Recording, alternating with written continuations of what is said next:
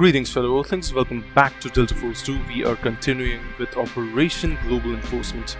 Now, High Command has chosen that Mission Broken Arrow takes priority over Mission Fallout since it contains, uh, since it comprises of actual weapons grade uranium versus a smuggling depot.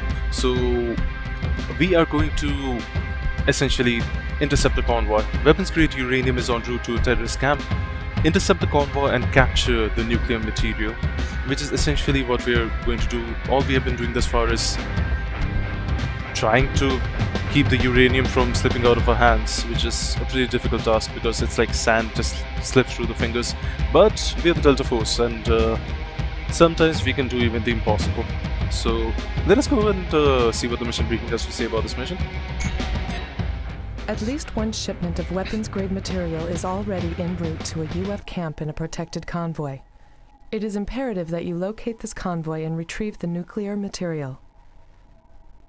You are ordered to intercept the convoy and detain it until Nest can arrive on station.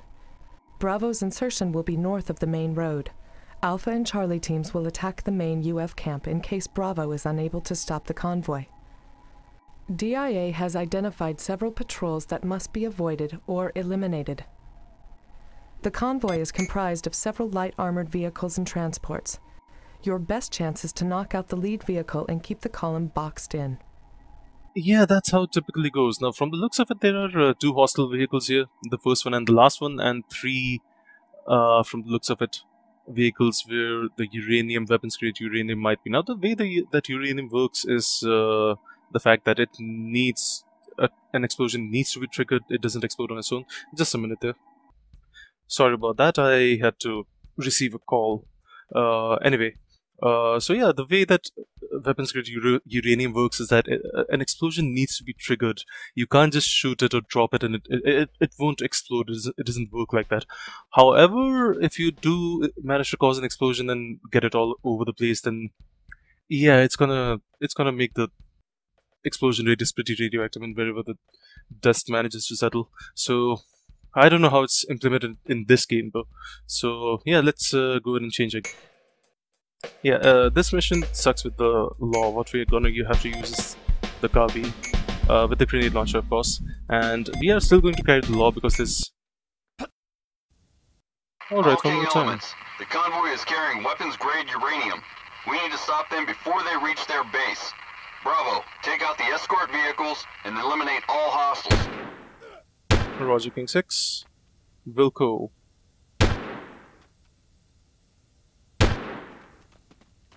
So what just happened right now is I had successfully almost completed the mission. I don't know what happened. There was some sort of glitch in the game wherein uh, I could not actually complete the mission. But yeah, I had more or less completed it and uh, I took fall damage and died. I, I probably had like one enemy left to clear and I died to fall damage. I even went ahead and went as far as uh, eliminating like the entire camp of hostiles here. There was like a camp of hostiles up ahead and I eliminated everybody, but I still died. Because of fall damage. That's just how this game is crafted, to be honest. There's also a helicopter in front of us, which we need to take out. Which we'll get to. Which we'll get to. First, we will take out the enemies on our left here. And the best time to take out the helicopter is when it's headed towards you. Or when it's trying to land. At any other times, it's uh, a little difficult to take the helicopter out.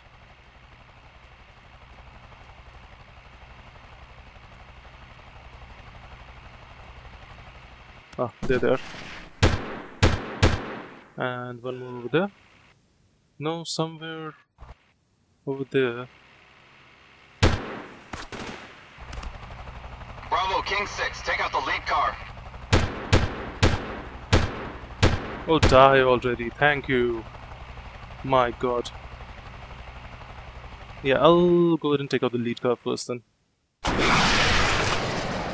Since that helicopter wants to play games and uh, doesn't want to come at us as quickly. team, moving in. Roger Alpha.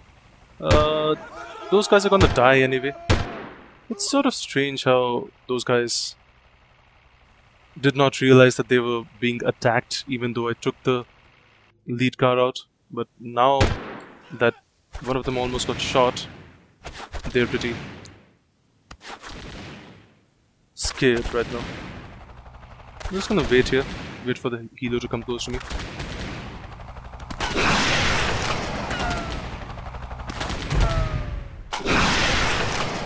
How could I miss? My god. Uh, and I'm all out of uh, explosives right now. Good thing that I got the grenade launcher uh, carbine instead of the saw because otherwise that would have been uh, difficult. Now there are two more uh, armored vehicles at the back that uh, do essentially serve the same purposes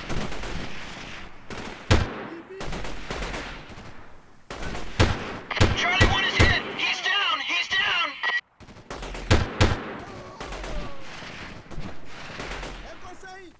Alpha 1 is down! Yeah, they keep falling like dominoes. Can't really help that. Bravo, King 6. Charlie team is down. And so is the Alpha team, to be honest. But uh, who's keeping track, right? So there are like, uh, I mean, I've been calling them BRDMs, Bravo, King 6. Alpha team is down. but I, I'm not certain whether that is the appropriate terminology for them. But I have been personally in my head calling them BRDMs. Uh, I do not think that is the proper term, though, like I've been saying. So we need to approach this a little cautiously. If we see enemies, take them out first, and then try taking out the damn. Right.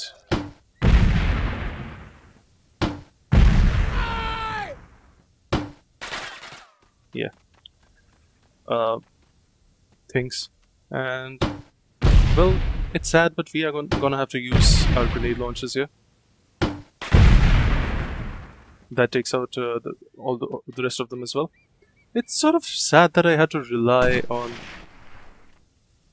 all those, uh, you know, had to go through all those laws just to get rid of the chopper. I would have hoped that take, getting rid of the All chopper. King elements. Bravo has secured the convoy.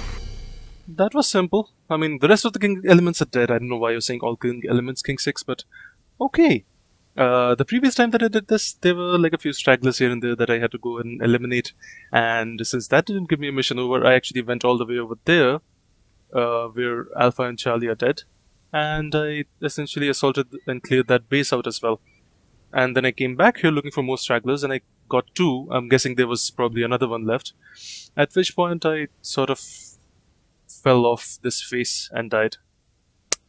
Yeah. Just goes to show you how this game can fuck you over if you're not careful. But anyway, so that's that for mission uh, Broken Arrow, which was, huh, strange to say the least. Which leaves us with only one mission left in this uh, in Chad. Apparently, it's called Mission Fallout. Unless there are more missions here, we just need to unlock them. But uh, yeah, for now, it's Mission Shad.